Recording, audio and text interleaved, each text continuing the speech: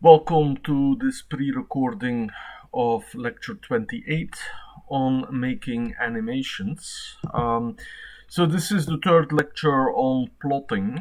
Um, we will, I will start with a motivating example, uh, an example which is left off an, as an exercise to this lecture, but you should be able to do after following through.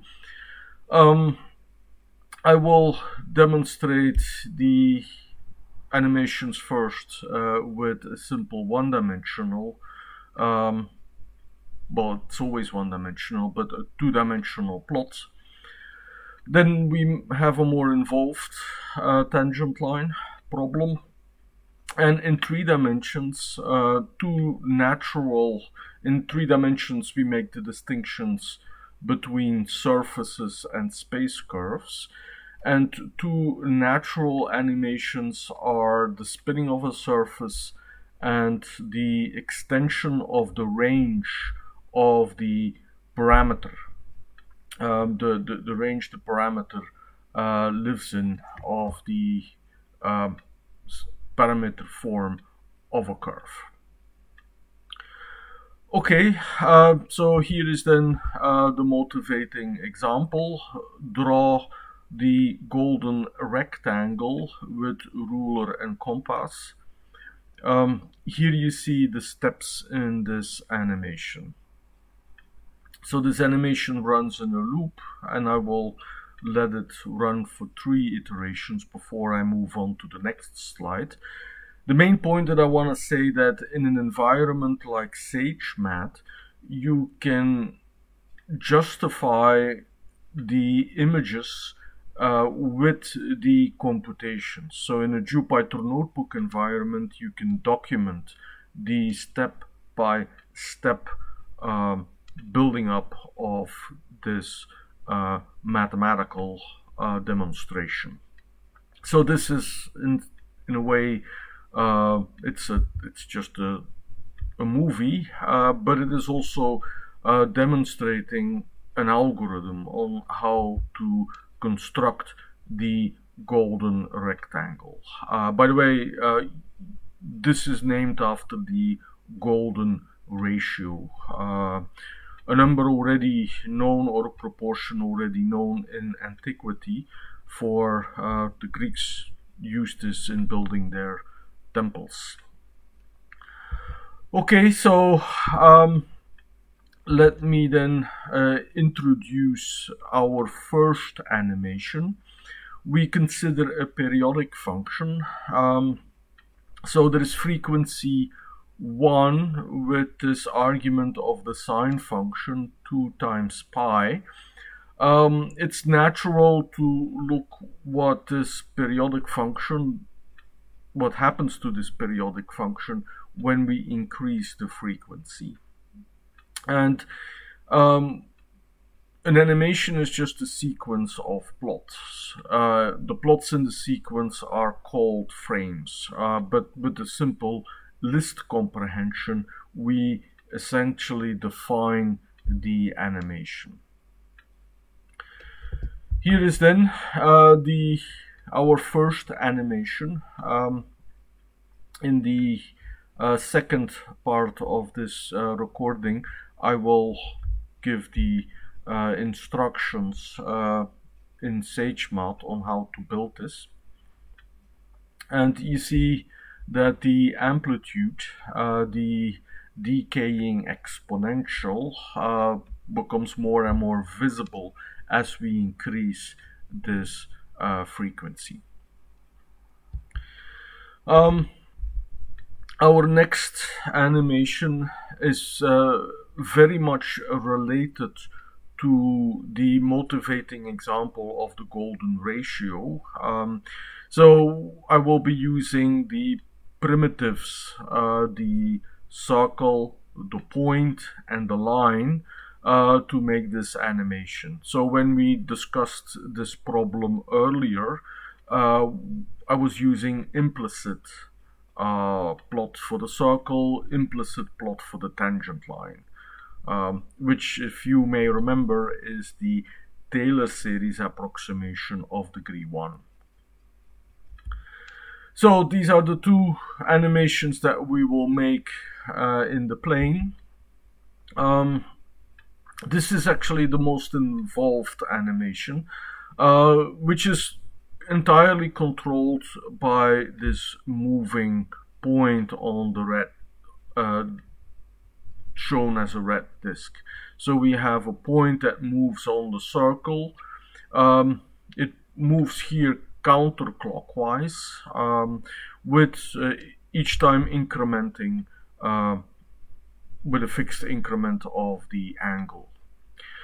Uh, when we define an animation, we first uh, carefully look at the first frames. Um, after we have made an animation, we can make a graphics array and look at all frames all at once. Um, so the uh, plot here is uh, made with a graphics array. Um, so there, it looks much more involved, but what is important, of course, is that uh, the blue circle remains the same.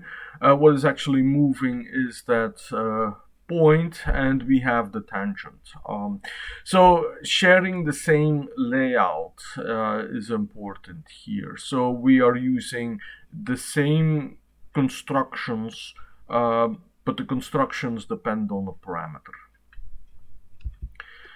So with three-dimensional plots, um, when so we in the last lecture I used this parabolic cylinder in the definition of the twisted cubic. And whenever we make uh, a three-dimensional plot we get something that is two-dimensional. And then we get a better look and feel if we change the viewpoint. Um, so the natural animations that are with uh, the um, with the three-dimensional plots with the surfaces is that you can give more a look or feel uh, the, the correct uh, way to look at this uh, cylinder if you spin it around. So this is a spin plot where the x-axis is rotated. So if I'm here, so you see here what happens is that the x-axis rotates. Uh, alternatively, so there is the y-axis. So the y-axis is here uh, rotating and that makes that the cylinder spins, but then in another way. And of course, one can combine both the x and the y axis. So one purpose of this animation here is that you would become a little bit more familiar with the setting of the angles in the rotation of the coordinate axis. So here is then the third.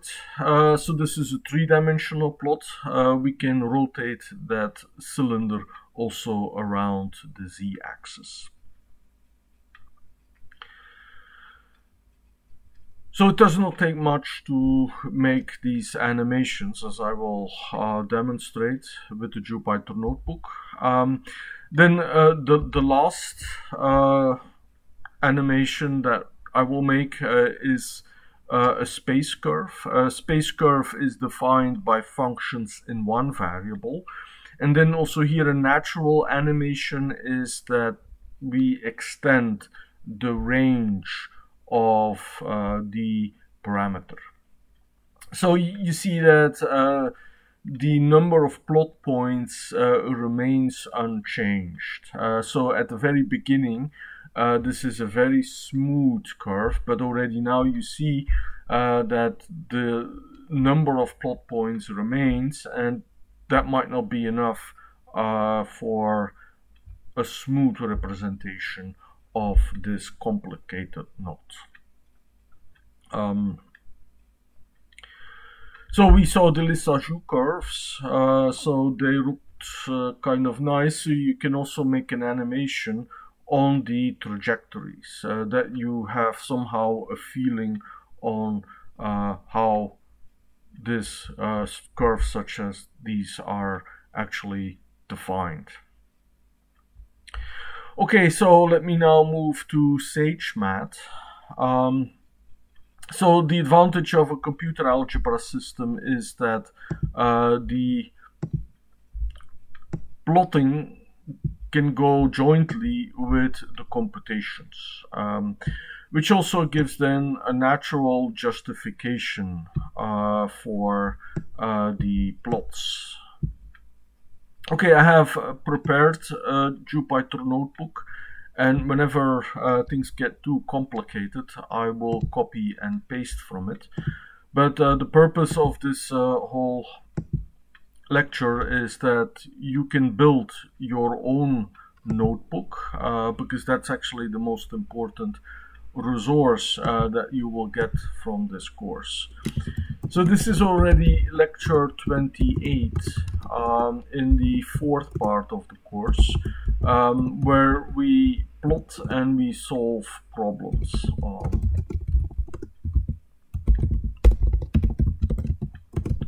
So with animations we make movies. Uh, we can also make graphical user interfaces where the user is in control. Uh, we will do this in a later lecture. How to uh, give more control to the user. So in, in, in a way, these animations here are still very static. Um, so they're nice to consume, nice to look at, but they kind of force a, uh, a pace, they force a viewpoint on, um, on the user. Okay, so what is our um, first animation? Uh, so we look at a periodic function and we increase the frequency. So consider the function f of x where we have the decaying amplitude and then I have the sine function 2 times pi times x. So this is a function uh, with one variable, uh, but I'm going to introduce the parameter that controls the frequency. So when I'm defining this in Sage, I'm going to define a function and this function will introduce the parameter. So what is important here is uh, the um, expression that we obtain. So let me carefully uh, define, uh, state that we have what we have defined. So this is a function, so we have defined the function f which takes on input the frequency so the number of loops uh, that uh, this uh, sine makes uh, the frequency and returns the expression of the periodic function with decaying amplitude. So this is a course on symbolic computation and we have seen already many times that we can define functions to build expressions. And this is actually such other function where the independent variable is actually not x. Uh, so x is the variable in the expression which will be used in each plot. Uh, the main parameter here that is running through the frames in the animation is the k. So by defining this function uh, in this way, I'm kind of emphasizing what really matters here. Well, by the way, what matters is that we have a plot. So let me plot the first frame. So where the symbol x, so x is not really uh, a so it's a predefined variable, but it's here the symbol that is used in this expression. I let it run between negative 2 and 2. And that will be the first frame in my animation. So I will save it. and then render this. So I do this all in one same window, which is always uh, same code cell, um, which is kind of risky, but I feel still fr still fresh enough that I don't make type errors. So here we have the first frame in the animation, so that's the one. Let me also make two.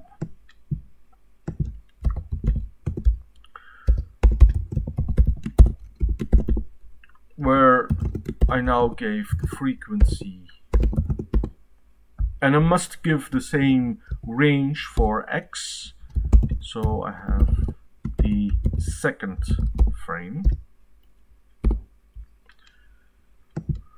where you can see that uh, this periodic function runs uh, faster. Okay, with this I can already make my first animation. Uh, I have two plots, so one, two, and animate is a command which takes on input a list. And I do one to show. And this is going to take a little while. Um, so here is my first animation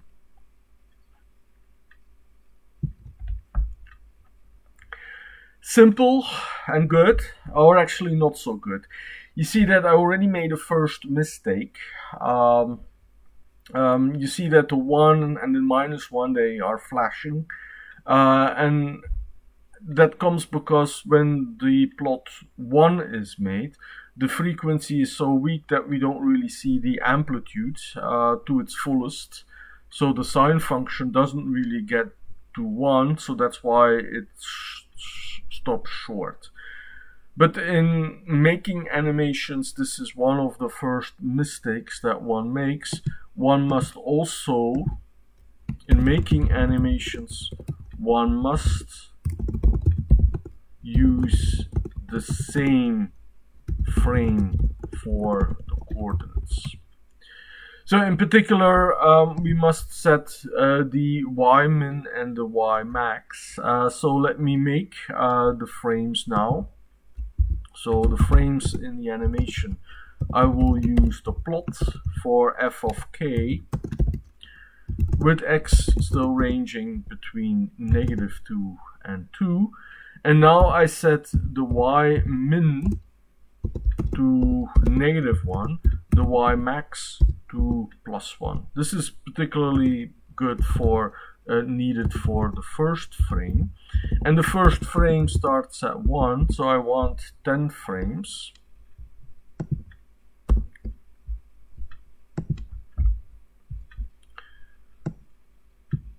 So here is the making of the frames. And I made a syntax error. Um,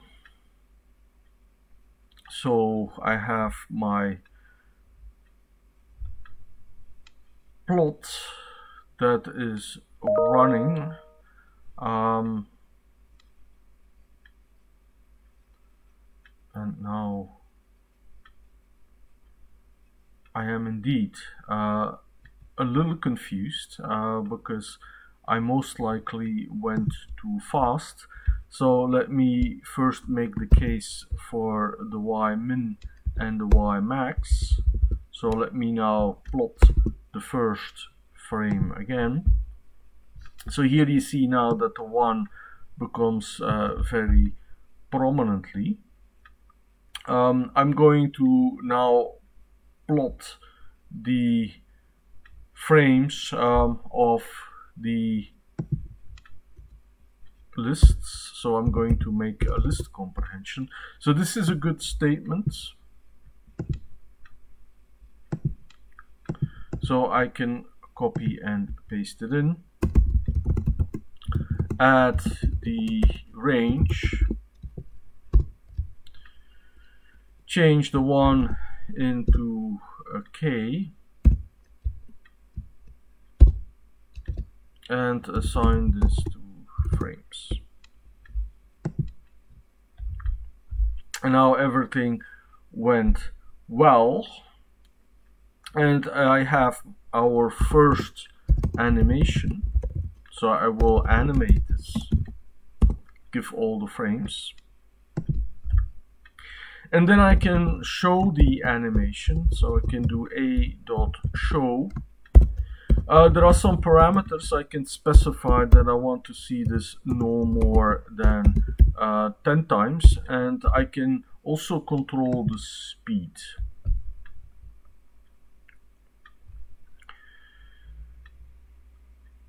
Okay, so here we go. The speed is actually quite fast, uh, but it will stop after 10 times, um, showing the last frame.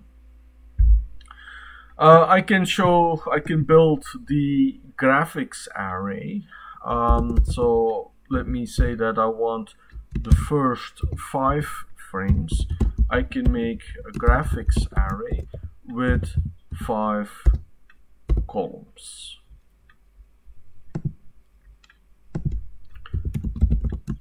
and then I can choose choose the figure size and um, remove the axis.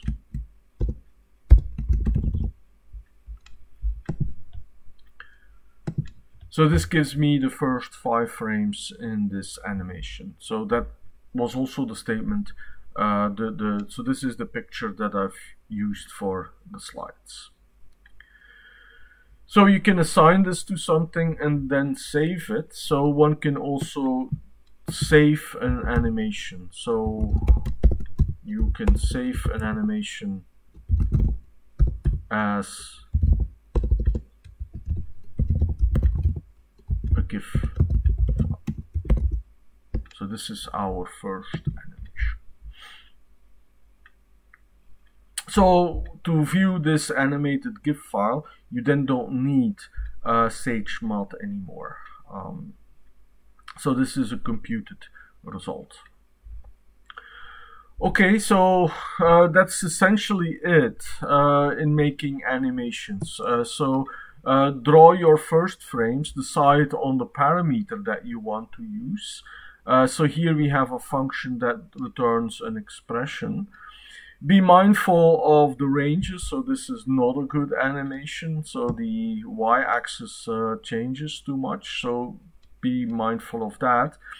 Uh, then also the plotting of the frames, I made this mistake, um, so be careful um, for type errors, so it's good to work with one statement in one code cell.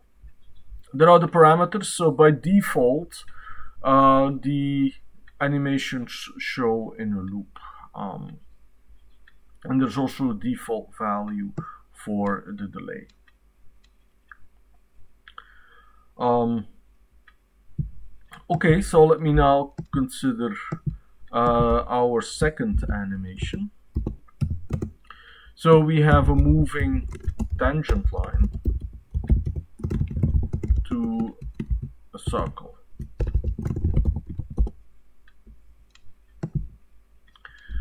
So in this plot, uh, so we solved this problem before, but then we were using implicit plot. Uh, so uh, to make, so we consider the a moving point on a circle uh, with uh, to draw points. we have uh, the primitive point. We also have the primitives for the circle, which is uh, the primitives, and this is circle and line. So one can of course draw a circle with an implicit plot, but uh, it's better to do this um, as I will try to illustrate now. The unit circle is defined by a circle with center at the origin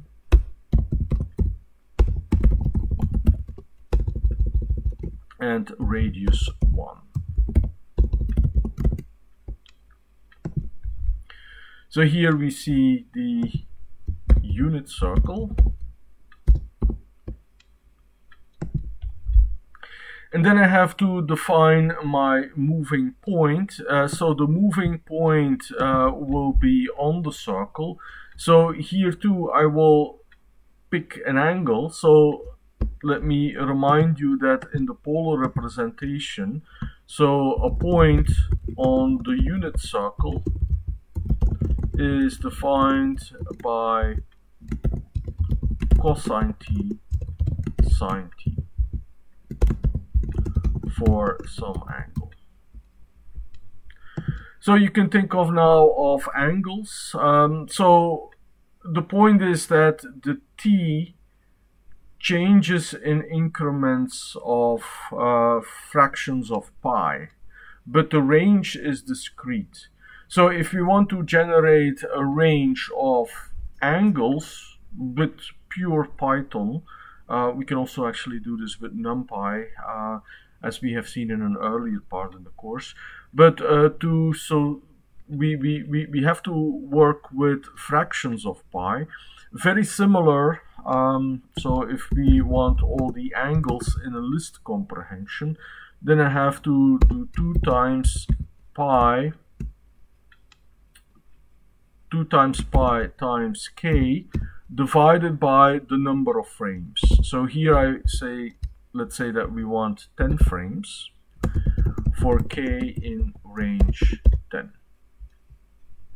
So this gives me uh, the 10 angles for the moving point. So it starts at 0 and then it goes all the way to 9 fifths.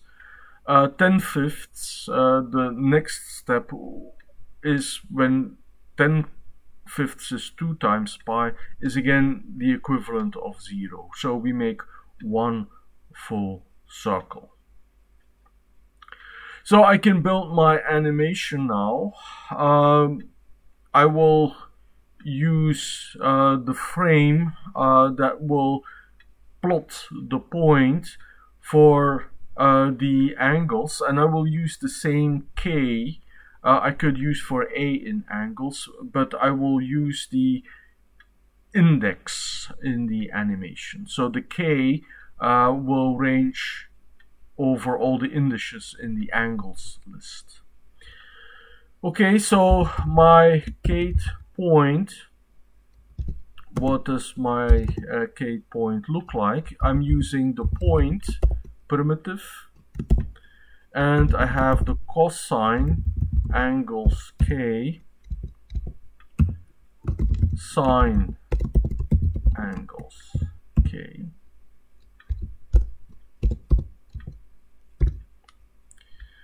Um, so the outer index is uh, the point primitive. So I have to define the size. So let me pick 20 the color is red. So this is a function that defines or that should define uh, the point and I made uh, somewhere um, a mistake uh, unable to convert to an integer so what happens here is that uh, the function uh, evaluates uh, prematurely, I can fix this uh, with uh, the lambda. So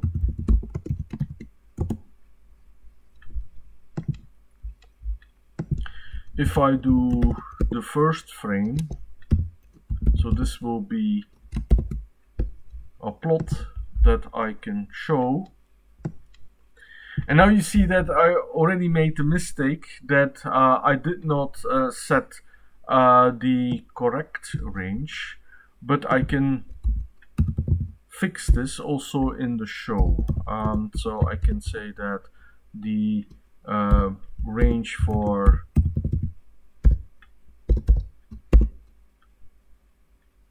and by the way this is not the first frame it is the second frame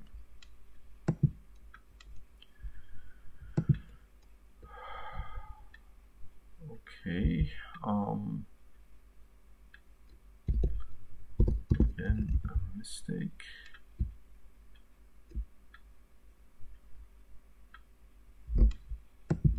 Forgotten the equal. Okay. Um,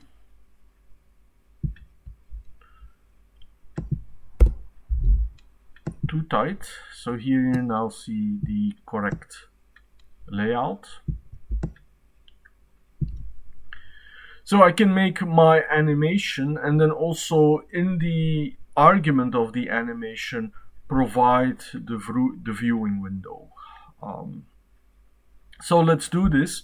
So I have the frames which are uh, calling the point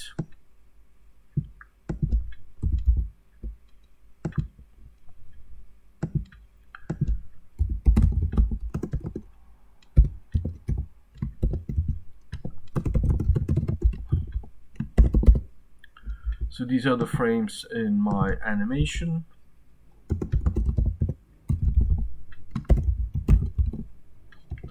And when I show this, I have to be careful that I specify the range because I didn't do it in the um, plotting command.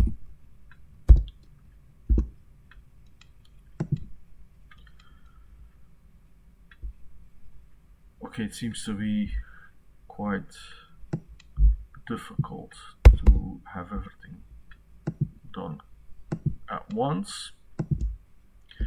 So I can do a show.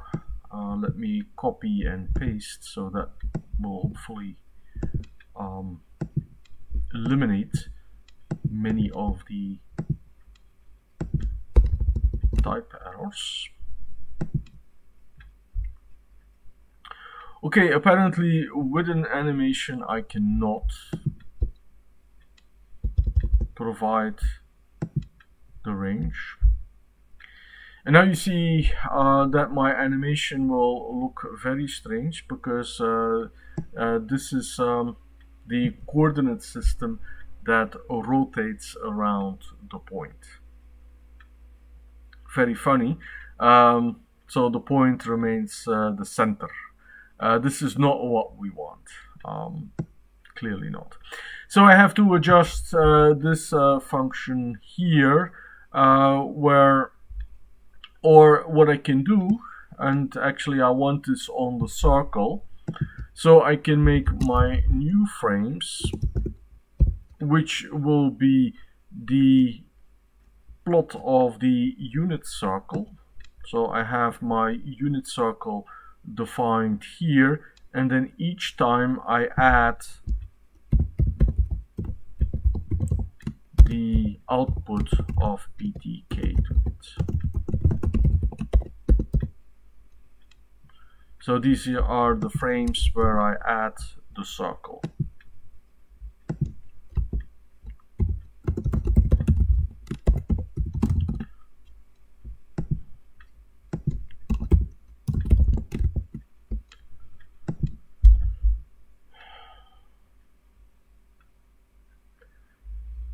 Okay, and now uh, you see that I have the correct uh, representation.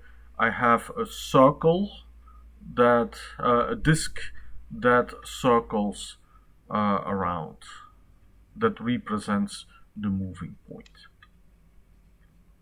So adding uh, the picture of the um, circle showed uh, took care of the um,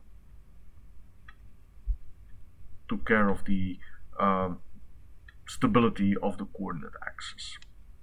So in order to provide uh, the tangent line now, I will use a property that you may have seen from calculus. Imagine a vector originating at the origin and ending at the disk at the red disk then the vector that is perpendicular to that vector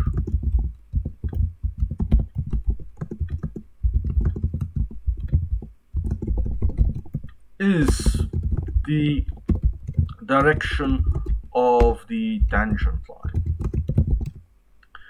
So that is the construction that I'm going to use now.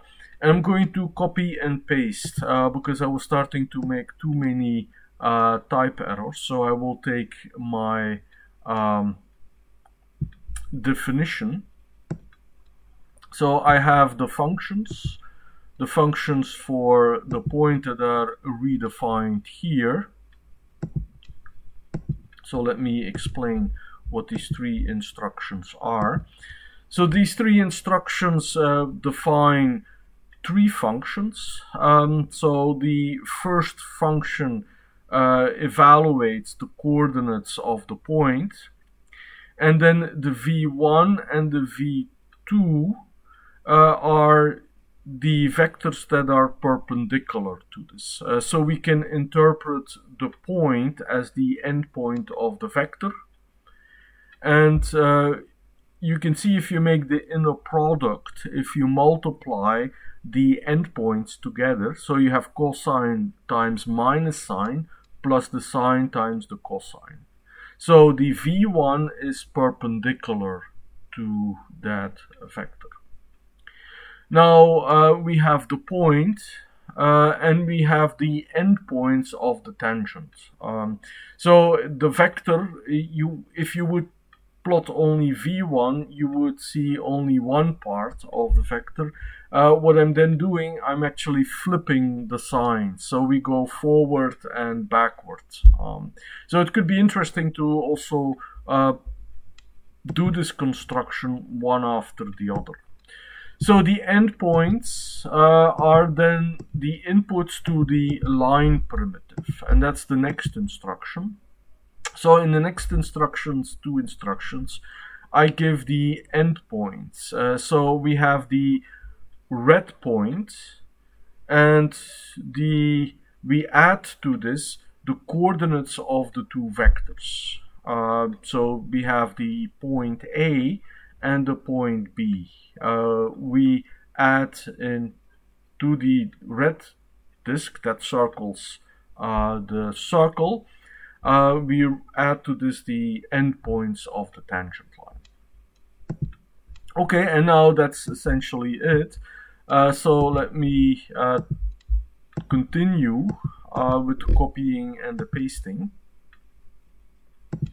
So here is the recipe for the oops uh, the I'm going to be in trouble now uh, because I have the first point that is not defined so I'm going to do this uh, without the point. And I may be in trouble because I have uh, redefined the PT I was not good with choosing my names.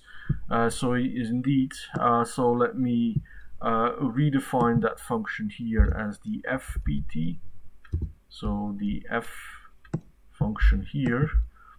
Um, so in a way uh, this is uh, interesting um, because you see now if you want to be consistent I have to also redefine my frames again. I will not go through that animation but it would be good if I would okay do it everywhere. So the work the notebook remains correct so now I have FPT1 for my red point and this gives me the first well actually it's the second frame in the animation Okay, so now I have the tangent lines. So these will be my frames. Um, so I will make the unit circle.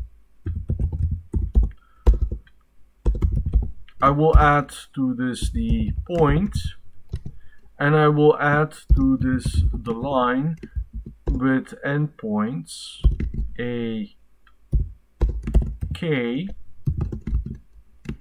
and bk. So now it's very important that we understand the meaning of the brackets. So uh, the a and the b they are functions. So we cannot use uh, the square brackets of the lists.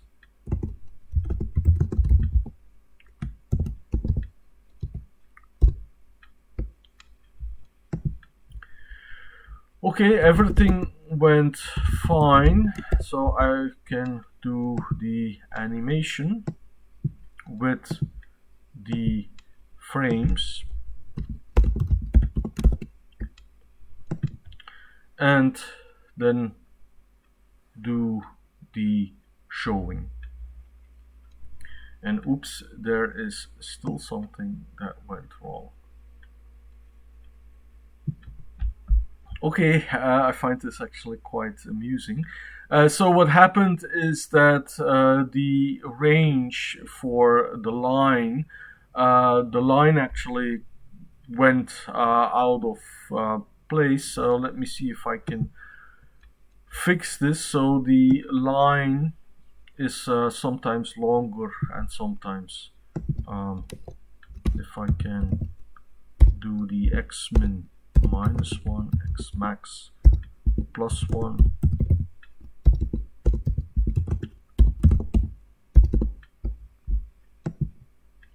okay so apparently this cannot be fixed in this way so uh, the line has to be fixed here so let me copy and paste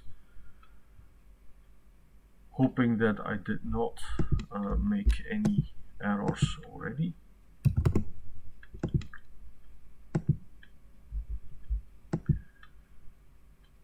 I indeed did. Comma. And then I have a trailing comma. Okay, so in a way, uh, these demonstrations are kind of uh, rife with errors, but it's also kind of uh, pedagogically good to um, demonstrate that also I make these mistakes. Um, and uh, often it is uh, also very wrong to show you only the perfect, uh, the final products, because then you get the impression that everything has to be done um, immediately right. Okay, um, so I have eight minutes left uh, to show the other features. Uh, so I will probably truncate a little bit and uh, refer to the prepared notebooks. So let's spin a surface. Uh, so we have the implicit plot of the um, parabolic cylinder. So now I have to declare the x, y, and z. So we are in tree space. And the surface is the quadratic cylinder, which I plot with implicit plot 3D. So this is the surface uh, x square minus y for x ranging between negative 1 and 1, uh, y ranges between 0 and 1 because it's positive, and z, you see the z is not there, but since this is three-dimensional, I must uh, declare it, and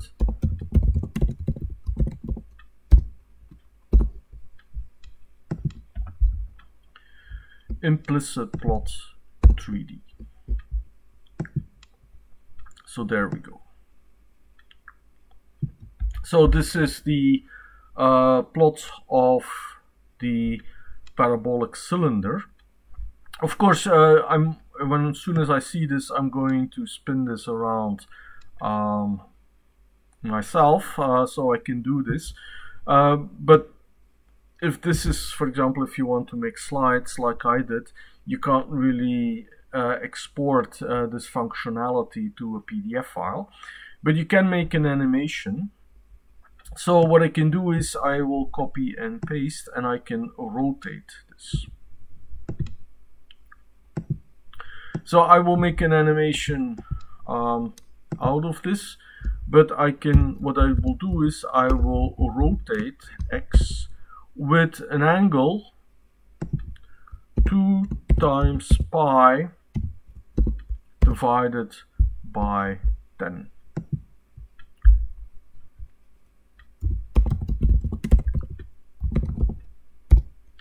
So this will be one of the frames in my animation. So here you see that uh, this parabolic surface is rotated. Okay, so uh, let me now make the frames. So I copy and paste. So I will call it uh, the X frames because I'm rotating um, the X I will paste in the um, implicit plot command, inserting the parameter k, and then for k in range 10. So the 10 corresponds here with my um, step size. So now I can make my animation of the X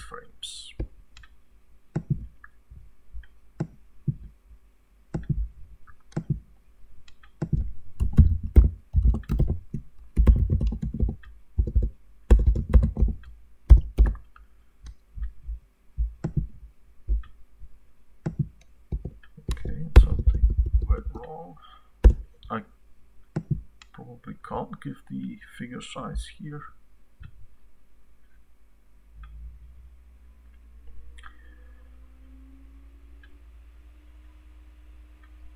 Okay, by the way, and uh, I'm doing this still on a quite a fast laptop. Um, it may be that if you are executing this in the cloud, that now we are at the stage in this course where we are doing computationally intensive uh, computations. Um, so, um, and it works. So here we are. So here you see the tumbling uh, parabolic cylinder where we rotate the x-axis. On the slides I've shown the other two rotations, uh, but they are uh, now trivial to make. You just replace x by y. Okay, two minutes left for my surface, uh, for, for my space uh, curve knot. So for that I will copy and uh, paste uh, from my prepared uh, worksheet. So here you see the other animations. Um, so uh, I will reset everything that might save um, also a little bit. Uh, by the way, if you are saving, so that went fast. Um, so if you're saving, it could be good to save without uh, the animations. Um, so to make the frames, I will animate this. So you see here uh, the instruction that I'm about to copy and paste. So I'm using the parametric plot 3D in the parametric plot 3D, I have the curve defined here, should have pointed this out. The curve is defined by a list of three expressions that are evaluated in t. So here I'm plotting for the entire range. So the syntax for the plot 3D curve is where you have um, the three expressions one for x, one for y, one for z, and then you have the range. Here it goes all the way to 2 pi. Um, by the way, you see these periodic uh, functions, and you can make this uh, not uh, very complicated, even more complicated, by, or less complicated, by changing the frequencies, uh, the 7 here. Okay, now the K is now also controlling an angle. Um, so I have 21 frames here. So my animation will may still be a little bit too ambitious, but I will try to illustrate it anyway. So I have the frames and then I will show the plot. So essentially I'm done with all statements. Uh, so this is minute 50 of uh, this lecture. Uh, I hope that uh, I have um, given you a good start on making your own animations. Um, within a computer algebra system like Sage, uh, we can uh, nicely compute everything and preview the frames one after the other uh, before they are rendered.